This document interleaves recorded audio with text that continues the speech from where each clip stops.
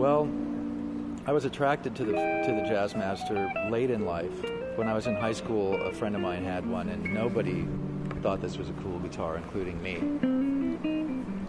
It wasn't until uh, I heard Marquee Moon by Television that I started to become intrigued with, with the Fender Jazzmaster, but not enough to go get one. In fact, it wasn't until uh, I heard Sonic Youth in the early 80s that I decided I needed to get something with strings behind the bridge.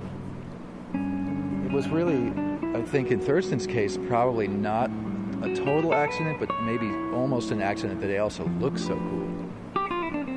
I've just said straight out that I pretty much play one because of him and Tom Verlaine.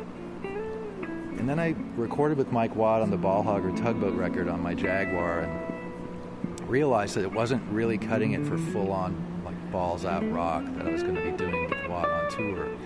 And uh, Joe Baiza showed up at my old concert series uh, playing this Jazzmaster and and I thought he had switched from his normal Strat and gotten this Jazzmaster, and I was freaking out. And I said, Joe, where did you get that guitar?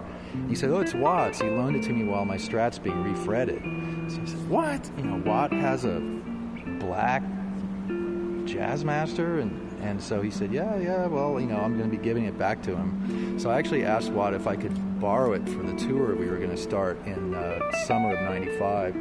And he said, I don't need this guitar. You should just buy it when the tour is over because I didn't have any money. And so I did buy it when the tour was over. I remember wincing slightly at the price. It was $800 and it's a 59. I didn't know it was such a good Jazzmaster. I used to think of it as my rock guitar, so I used to just throw it around. And the drummer and the Geraldine Fibbers, when I was playing with them, Kevin would rip the strings off it some nights and bash it with drumsticks. And um, I was irreverent, to say the least, towards it. And it wasn't until I started investigating other Jazzmasters that I uh, realized it's a very good sounding one, and that it's a particularly good year, et cetera, et cetera.